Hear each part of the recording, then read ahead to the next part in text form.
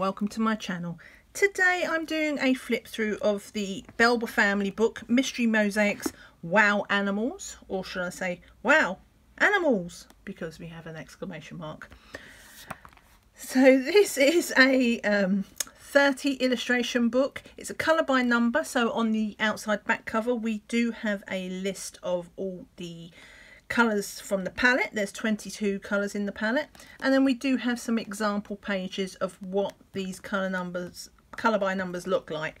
Obviously this is something we kind of need because if you've seen these kinds of books before then you'll know that the illustration inside, which is made up of these little boxes full of numbers, aren't particularly good at showing you what the image you are colouring is going to look like. So yeah, we get the outside front cover of the horse and then we get uh, five more illustrations shown on the back what they look like coloured in. So I will do a flip through to the best of my ability. Obviously this is going to be a fairly quick flip through because who wants to look at 30 pages of just plain boxes. But I have coloured a couple in for you. I got this um, got this four or five days ago at the weekend I've been putting off buying a mosaic book because I feared that it would be either something I love or I hate. And I love them so predictably I am a little bit addicted already. I'm having to force myself to put this book down as opposed to otherwise I would just go through it do nothing else have the book done in a week at this rate.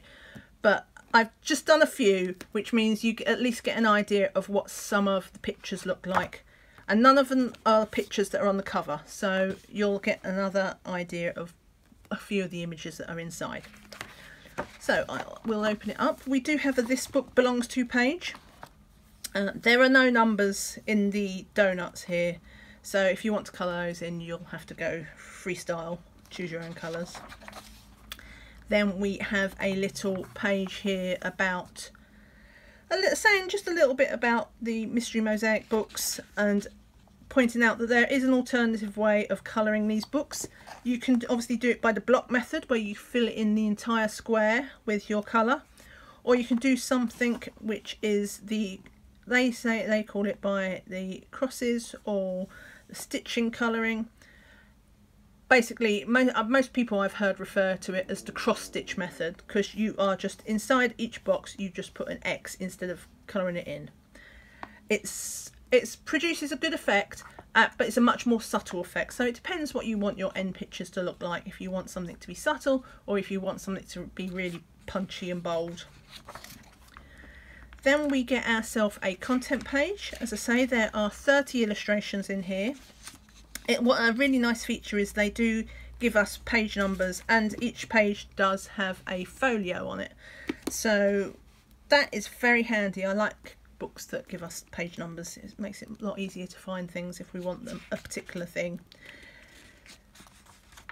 And then the next page we get is a try your palette. So again, we had the colours on the back cover, but here if you want to go through all your pens or your pencils to find your match, and then they do it's not perforated but they do give us a little dotted line so you can cut this page out. And then you could just use this when you're doing each picture you if you take this out then you can just like slot it in and have it with you when you're colouring in the page. Save you flipping back and forth. Um, the way I actually did it is I found all my colours in markers and then I put a little sticky number on the bottom of my marker to correspond with this. So I don't actually use the palette. When I pull out my pens I just pull out they'll all be sitting beside me and they've got numbers on the actual pens.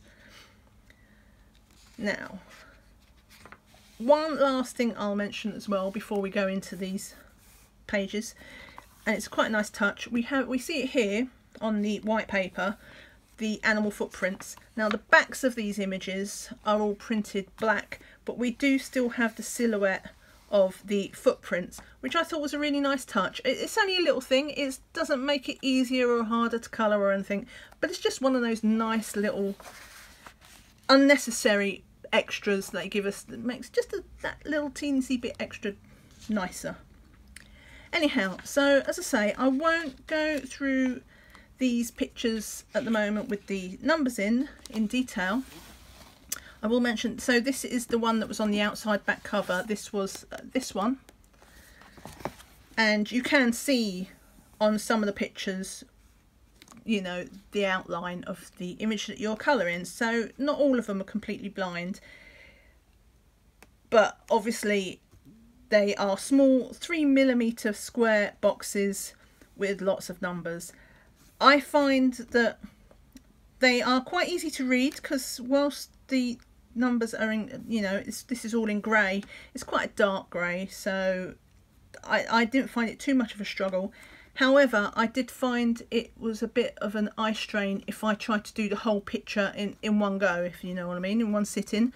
Especially when you get to numbers like, well, you can't see it on this one, but when you get to the double figure numbers, if you get something like 15 and 16 all sitting next to each other, then I went a bit cross-eyed in a way. Um, so yeah, from that point of view, there was a little bit of eye strain, but that's only because I went wild and tried to do the whole picture in one go. If you take good, you know, take a little screen break, it's not a screen break, a picture break, just to um, refocus your eyes for a little bit, have a cup of tea, and then you can go back to it. I won't dwell on these pictures because they are obviously just numbers and squares, but we will get to one that I have coloured. Now this one was I think called Pigs in Love. It's very sweet, very cute. Um, I elected to do this the block method to fit it in because I really quite like how the colours um, are, are, brighter and punchier. I'll show you an example in a, in a short while of compared to a cross stitch one that I've done. You'll see the difference, but this one I, I like that he's punchy. The one thing I would mention, I, I've done three pictures.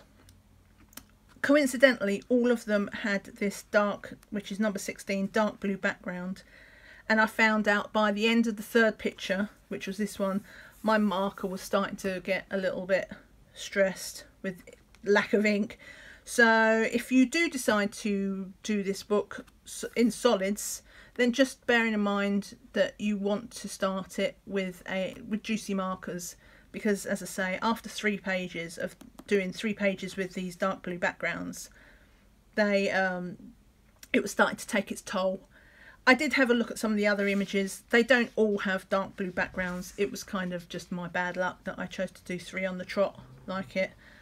But yeah, that is the one disadvantage to doing it with the block method. And I don't know if you can see, the alcohol marker has bled through, but because of the black background, you can't see much of it. You just see a, a shadowing. So if alcohol markers staining through the page annoy you, then this is nice because it covers it up. So I'll just skip ahead to another one that I've done so that you can see it. Okay, so this one, I'll turn it around. I know I said I've done it uh, and you're looking at a blank page. This one was called Unicorn Dreams. Now, when I got this book, I'd seen a number of people who had all done it with the cross stitch method and I was like, yeah, that's really nice. I really like it. But at the time, apart from the outside cover of the, uh, cover of the book, I'd not seen anybody doing it in the block method or, or hardly at all. I was like, oh, which way do I want to do it? So I took a photo, well, I took two photocopies of this image and basically with a view to doing one block on one cross stitch and then I would see exactly which I would prefer for myself because you know when it's only sometimes when you do something yourself you get to realize what your preferences are. So this is what it looks like with cross stitch method. As I was saying before this is a much subtler effect if you do cross stitch um, I did this with fine liners and to be fair I don't use my fine liners very often so it was quite nice to bust them out.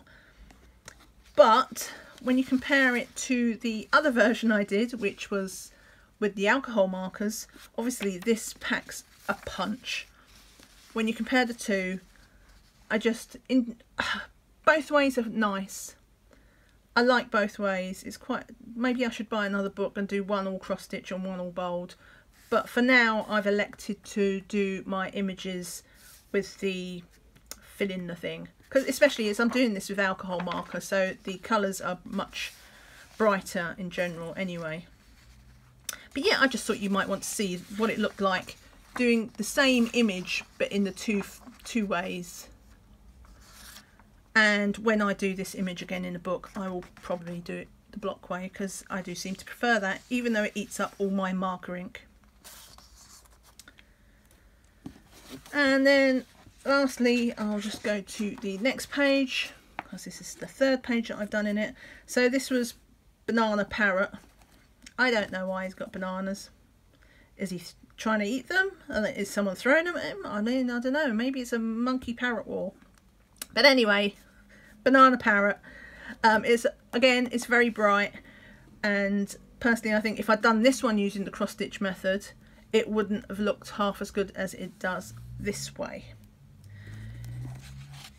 So yeah that is the rest of it. Obviously there's no point in showing you much of what's going on in here. I mean you can see some zebras or zebras there. But the rest of the book is obviously just squares and numbers. And then at the back we do get a little spread where you can test your mediums. You get the nice paper. I might actually cut that paper because there's nothing on that one. I might actually cut that out of the book. I could use that for something because it is quite cute those footprints but yes it's a place you can test your um, pencils or your markers to find out what bleeds and what doesn't right so that is the flip through and review of mystery mosaics wow animals yeah I hope you found this flip through review helpful. If you did, give me a thumbs up. I would really appreciate it as it does help the channel. And yeah, thanks so much for watching. I hope you're all keeping well. Take care and see you again soon.